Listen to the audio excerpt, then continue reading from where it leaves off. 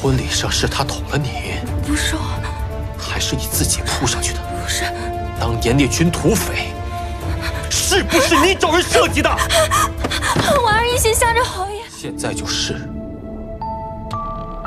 侯爷，不愿意？嗯，当然不会。侯爷送的东西，婉儿怎么会不愿意用？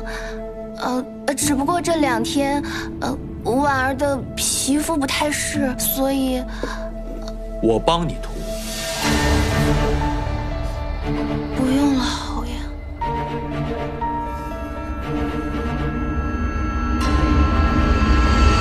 你早就知道用的人，轻则半身不遂，重则暴毙当场。侯爷，婉儿不知道你在说什么，请侯爷不要逼我。逼你？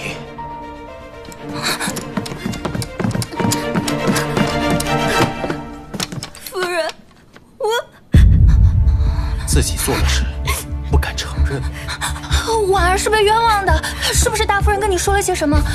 婉儿愿意当面跟他对质。事到如今，还要狡辩？狡辩？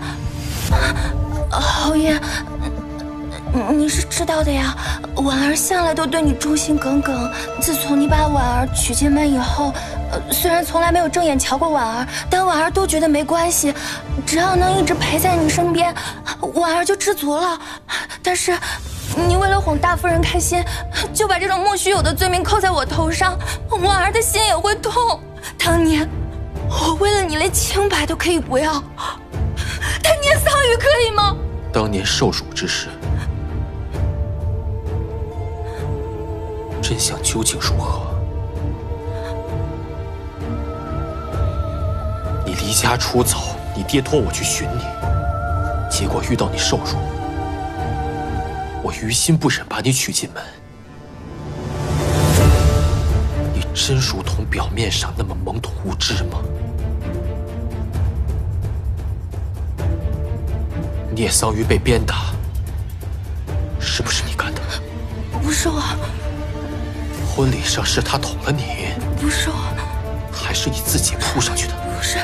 当年那群土匪，是不是你找人设计的？婉儿一心向着侯爷，你整天跟大夫人耳鬓厮磨，婉儿还要装出一副不争不抢、温柔大度的样子。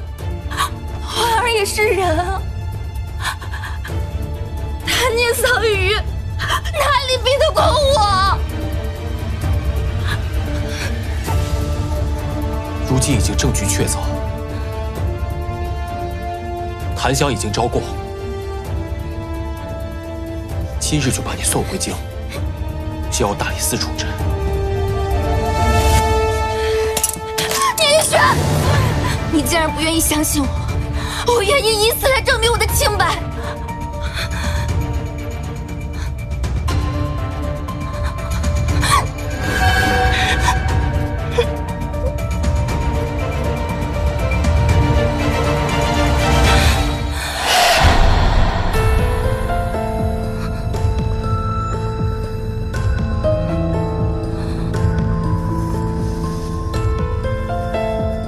演够了吗？